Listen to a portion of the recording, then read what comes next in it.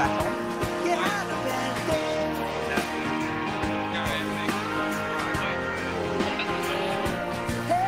can you just chuck it off yelling so I can process it? No,